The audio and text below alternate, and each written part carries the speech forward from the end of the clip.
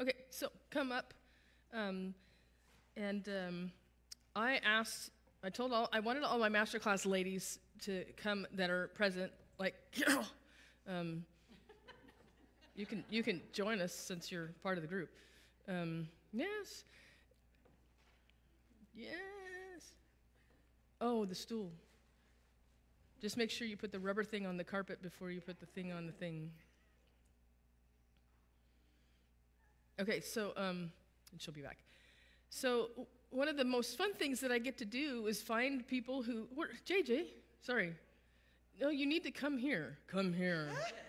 come here. My other Joanne, come Yes, yes, yes.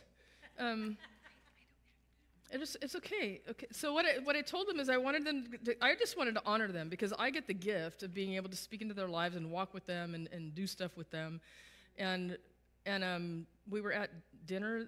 I don't remember where we were at. No, oh, at the party the other night, and I was just talking about the different people and what they did and where they were like when they first came and when I first met them, and kind of like what I did with Val, who who said, "I don't even know why I'm here." because um, they're all pastors, which we weren't, but that was her perception. So she came in with this fear, right, of we're all just super religious and she's not, and yet she has this amazing, powerful prayer ministry. Um, but she needed to learn how to own that for herself, you know. And uh, and Carol's just this beautiful, wonderful lady. yes. She, and so she's a tapestry sister as well. And I think that, um, and Heather was in the, in the course for a while as well, and, and just really talking about our, ourselves where, where, where are we at emotionally? And where, where are we at spiritually? One of the first questions that I ask is, How much do you like yourself? It's one of the very first questions. And we, and we get real and we get deep. How much do you really. Oh, and Stephanie's back there hibernating. Yeah, she's supposed to be up here too.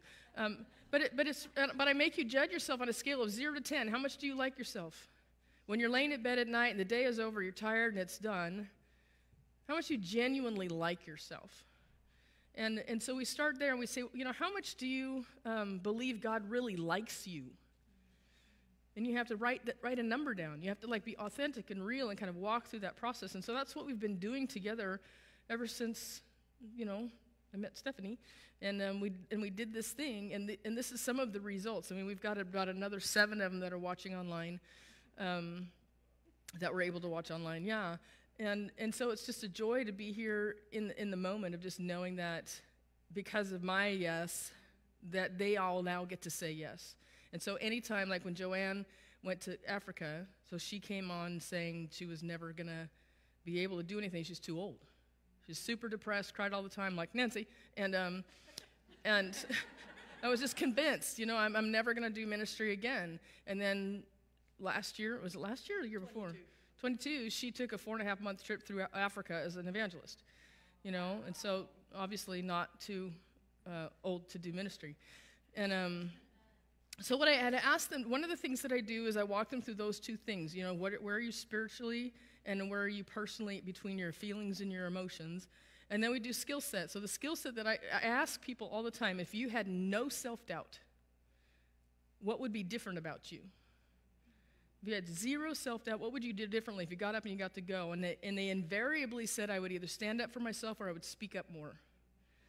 And so I added speaker skills to the end of that. And so part of that training is to give them a, a talk, which is technically five statements tied together. And, um, and I offered them to, oh, I told them, you're going to come on stage and we want to go down the row. And if they just did it, it would go by really fast because it's only five statements. And so, um, so the whole framework is I used to be blank, but now I'm blank. So you can say I used to be blind, but now I see, right? And, and due to whatever, due to the, the person that prayed me through, or due, you know, whatever that due to was. And, and then what they want someone to do, I want you to pray with me. And then what you want the, them to experience, so you can experience freedom from your past, right? So it's a very simple framework and the way I typically teach it, and I was, and I'm going to be actually speaking about this after Bob to kind of actually walk you through that process so that you be able to take that home. Is um, I used to be fat, but now I'm skinny due to Weight Watchers. Join Weight Watchers so you can be skinny too. Okay, super easy framework. Super easy framework. So, so who wants to go first? Diana, who has the microphone. I, I can pass the microphone too. we can go down the line. I've had the microphone all day. No, it's fine. I can go first. Yeah. Okay. I used to silence my voice because I believe the lie I'm not good enough. But now I'm emceeing a women's conference. Woo! Due to overcoming self doubt and having incredible mentors, I want you to overcome your limiting belief so that you can step into whatever God has called you to do with confidence. All right, my name's Nancy, Nancy. and I'm all nervous, and I don't know why I'm nervous. It's because my mentor's here watching me. so I used to be completely full of self doubt, insecure, didn't have a voice, or didn't think that anybody would want to hear what I would have to offer. But now I am a senior pastor at a small church in Highland, California, preaching boldly the truth of who Jesus Christ is and who he was is for me, and sharing the hope that I have found in him. Mm-hmm. Due to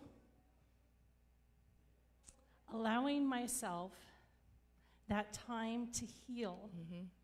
from my past traumas and accessing different types of, of, of programs that have Mhm, mentors like Pastor Elaine that also had a sisterhood Mm-hmm. of people that were struggling through their own healing process as well. And because of that, I was able to overcome all the, the fear and the anger and the, the, the self doubt to be who it is that God called me to be, and to learn how to, to live in the truth instead of listening to all the lies that have either been told to me, or the enemy told me, or I even told myself Mm-hmm. so that I could be set free. And so I want you, I want you to invest in yourself Mm-hmm. and invest in your healing by ac- accessing such types of programs that Pastor mm. Elaine offers and the mm. sisterhood that comes with it. So that you can be set free, so that you can live in the truth of who God created you to be Mm-hmm. because God created you for something special mm. and for that purpose. And He has freedom for you. Amen. Can you, can you tell who the, the, the preacher is? Yeah. yeah. So I used to. My name's Misha, and I'm new in the program. I'm not. I don't have it rehearsed, but I'm just gonna But keep just, it just, short. yeah. So I used to be terrified of human relationships, and I used to be afraid of even mothering my own daughter because I wasn't in touch with myself due to relational abuse. And now I teach women how to heal from relational abuse, express themselves honestly and authentically without fear or shame.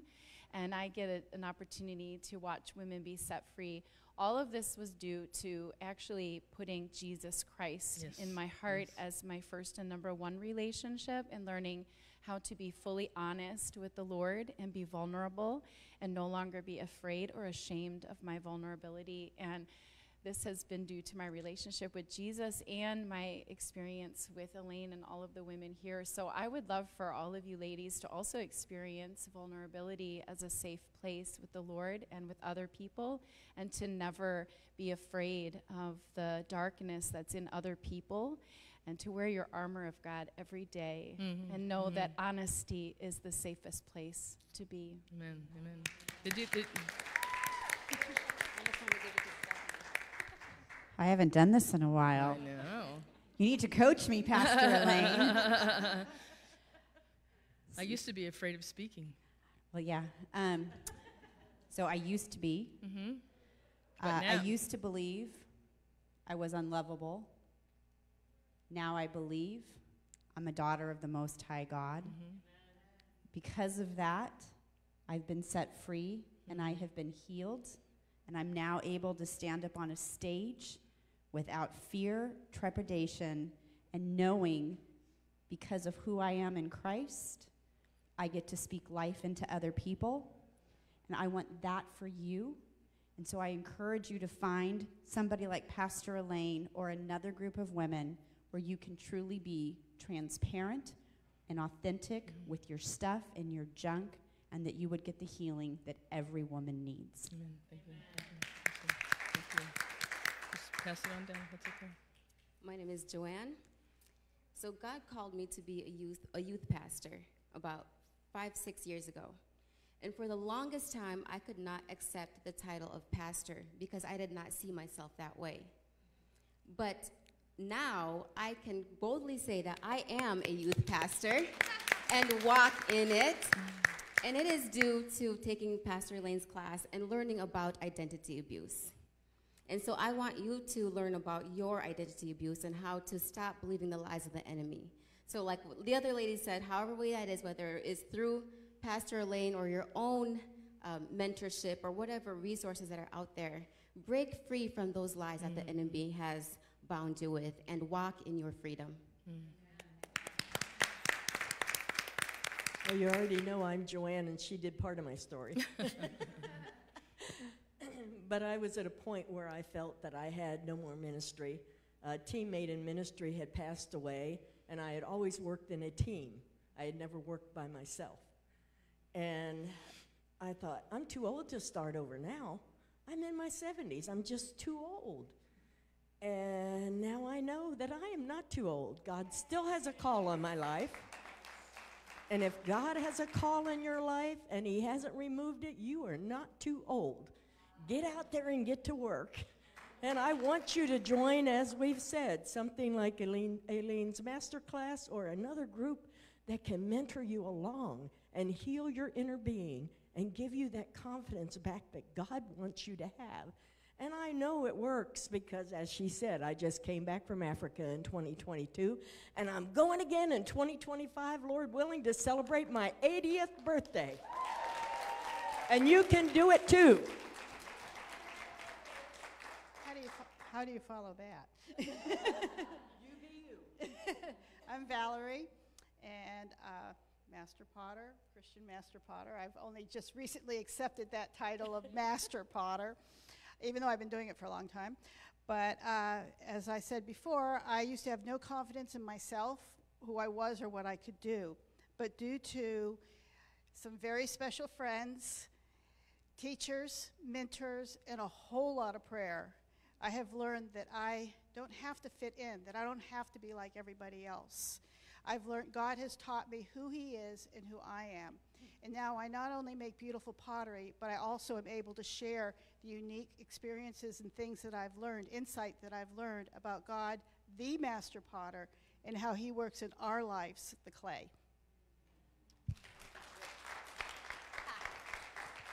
I didn't know I was doing this. So um, I'm Carol Dyer, and I used to um, sit over there, and now I'm up here. and I'm not shaking because I used to shake, literally shake my boots. oh. That means that I get to talk?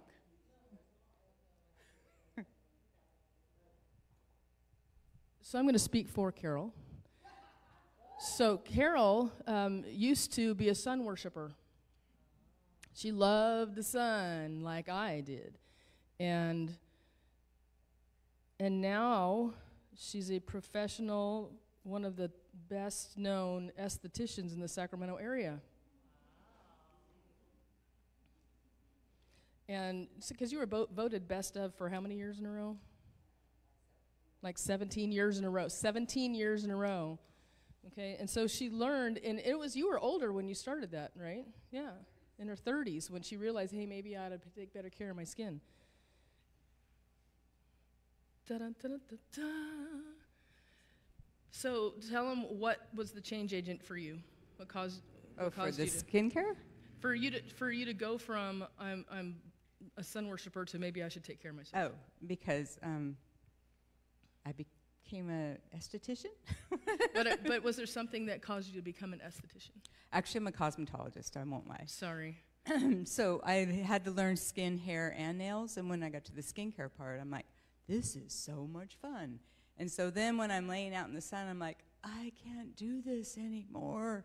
And so I became, um, an, you know, a skincare specialist. And I love facials, and I love to help women um, take care of their skin and to educate people on stay out of the sun without protection. Protection you can do. But I want to say that this has been a rocking time, Pastor Elaine, and thank you so much for putting this on. And happy birthday! Should we all sing happy birthday? Uh-huh. I, I lip sync, so who can sing? Happy